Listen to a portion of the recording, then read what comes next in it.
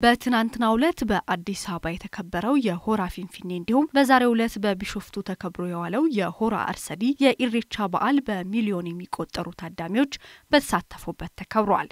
የበዓሉን መጠናቀቅ አስመልክቶ የኦሮሚያ ኮሚኒኬሽን ቢሮ ለጋዜጠኞች በሰጠው መግለጫ በዓሉ ባህላዊ እሴቱን በጠበቀ መልኩ በሰላም መጠናቀቁን አስታውቋል። በትናንትናው ዕለት በሆረ ፊንፊኔና በዛሬው ዕለት በሆራ አርሰዴ የተከበረው የኢሬቻ በዓል እሴቱን በጠበቀ መልኩ በሰላም ተከብሮ ተጠናቋል።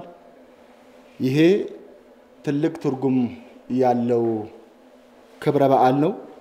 በሚሊዮኖች የሚሳተፉበት ይህ ክብረ በዓል ያለምንም የጸጥታ ችግር በሰላም ተጠናቆ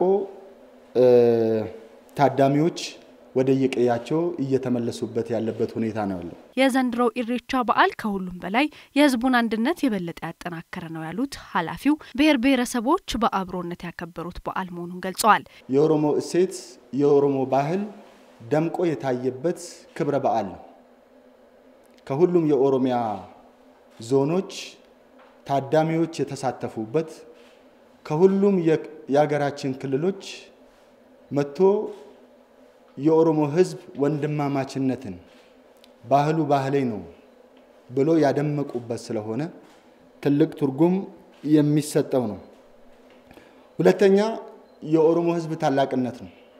ይሄ ሕዝብ በሚሊዮን የሚቆጠር በሰላም ወጥቶ ሰላሙን ጠብቆ እርስ በራሱ ተጠባብቆ ወደ የቀየው መመለሱ የሰላም እሴት ትልቅ ዋጋ የሚሰጥ ማህበረሰብ መሆኑን የሚያረጋግጥ ሆኖ ተጠናቋል። ኢሬቻ የቱሪስት ፍሰትን እየጨመረ እንደመሆኑ ኢኮኖሚውን በማነቃቃት ሰፊ ስራ መሰራቱን ያነሱት የኦሮሚያ ኮሚኒኬሽን ቢሮ ኃላፊ ኃይሉ አዱኛ የውጭ ጎብኚዎችን ቁጥር በማሻሻል የሀገርን ብልጽግና ለማሳደግ የተለያዩ ስራዎች ይሰራሉ ብለዋል። ሌላው የዚህ በዓል ትሩፋት የሀገር ውስጥና የውጭ ቱሪስት ፍሰትን በጣም የጨመረ ኢኮኖሚውን ያነቃቃ ነው።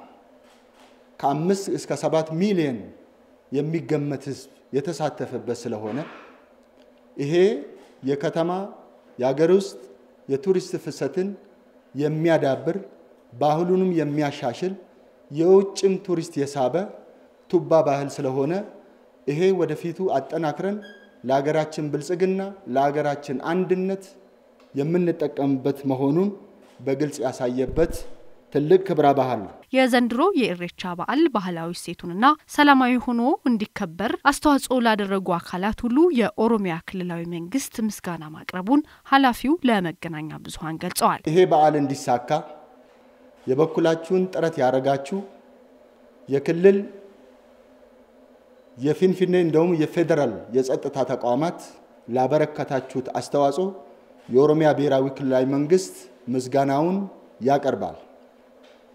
ከዚህ በተጨማሪም ባህሉ እሴቱን ጠብቆ ለትውልድ እንዲተላለፍ ያደረጋችሁ አባገዳዎች፣ ሀደ ሲንቄዎች፣ ከሁሉም በላይ ደግሞ የኦሮሞ ሕዝብ የኦሮሚያ ብሔራዊ ክልላዊ መንግስት ልባዊ የሆነ ምስጋናውን ሊያቀርብ ይወዳል። ኃላፊው አክለውም የበዓሉ ታዳሚዎች ወደ አዲስ አበባና ቢሾፍቱ ሲመጡ ቤት ያፈራውን በማቅረብ እንግዶችን የተቀበሉ ለአዲስ አበባና ለቢሾፍቱ ነዋሪዎች ምስጋናቸውን አቅርበዋል።